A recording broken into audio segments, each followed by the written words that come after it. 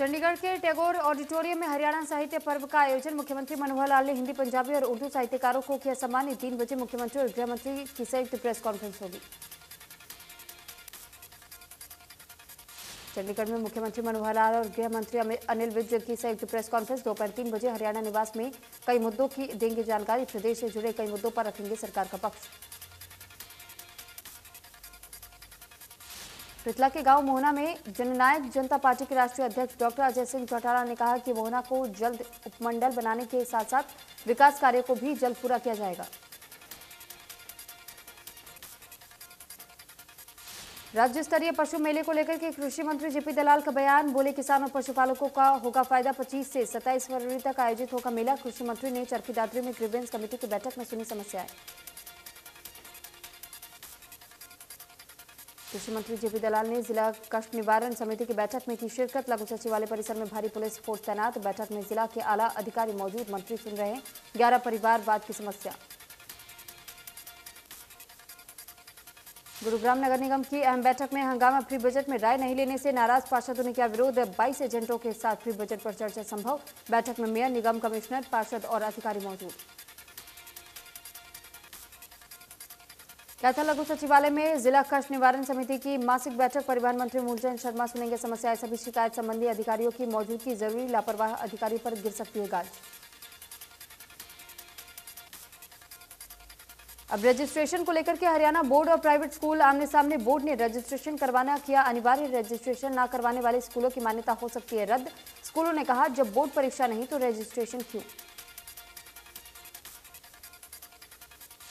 Faculty और facility की मांग को लेकर के करनाल में पंडित दीनदयाल उपाध्याय मेडिकल यूनिवर्सिटी के फिजियोथेरेपी छात्रों का धरना जारी। खुले आसमान के नीचे रात बिताकर करके जताया विरोध।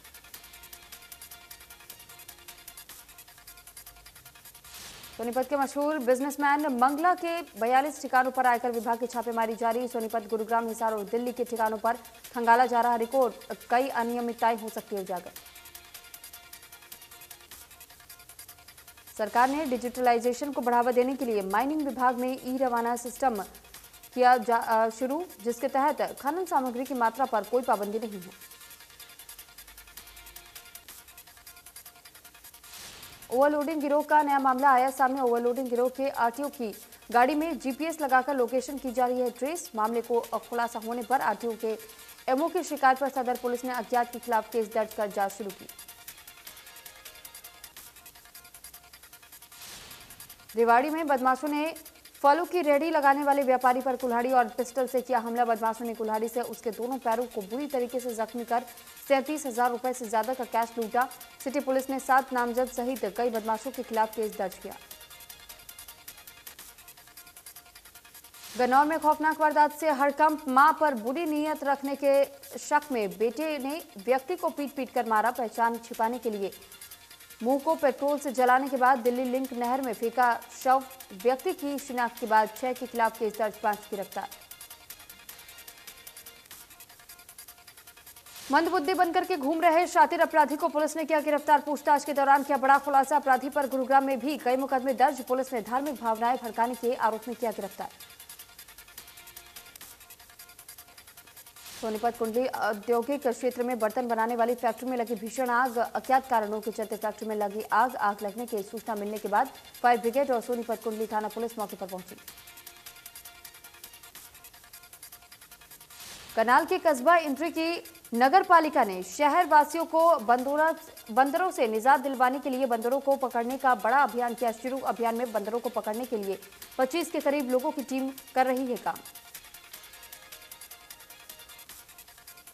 अंबाला शहर के वार्ड नंबर 10 की रविदास बस्ती में स्थित कब्रिस्तान की हालत काफ़ी खस्ता है। वक्फ बोर्ड के अंतर्गत आने वाली कब्रिस्तान की भूमि पर सालाभार बरसात का गंदा पानी जमा रहता है। वहीं कब्रिस्तान की चारदीवारी न होने के कारण कब्रों पर जानवर घूमते रहते हैं। सरकारी स्कूलों में सफ़ाई व्यवस्था चरमराई। महीनों से नहीं हुई टॉयलेट की सफ़ाई। हाथों की सफ़ाई करने के लिए बच्चे पानी की तलाश करते हुए आते हैं नज़र। यमुनानगर में डॉक्टर के आधे से ज़्यादा पद खाली होने के वजह से लोग परेशान हैं। कई रोग के विशेषज्ञ तक अस्पताल में मौजूद नहीं है। 200 बेड का नया सरकारी अस्पताल भवन तैयार है, लेकिन डॉक्टरों की कमी अभी भी बरकरार है।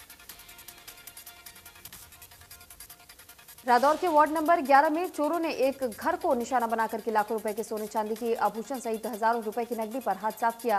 फ़िलहाल चोरी की सूचना के बाद से पुलिस और फिंगरप्रिंट एक्सपर्ट की टीम मौके में साक्ष्य जुटाकर कार्रवाई में जुटी है। देश में धीरे धीरे कम हो रही कोरोना की रफ्तार, बीते 24 घंटे में चौदह हज़ार एक सौ अड़तालीस केस आए सामने 302 मरीजों ने गवाई जान। एक्टिव केस, एक लाख अड़तालीस हज़ार के पार। हरियाणा में 508 नए केस, चार मरीजों ने तोड़ा दम। दिल्ली में कोरोना संक्रमण के मामलों में गिरावट जारी। पिछले 24 घंटे में कोरोना के संक्रमण में कुल पाँच केस आए। सामने वहीं कोरोना के 411 लोगों ने मात दी है। प्रदेश में एक दिन में 508 नए मामलों की पुष्टि, चार मरीजों ने तोड़ा दम। एक्टिव केस 200 2500 के पार सबसे ज़्यादा गुरुग्राम में एक सौ चौरासी केस किए गए दर्ज।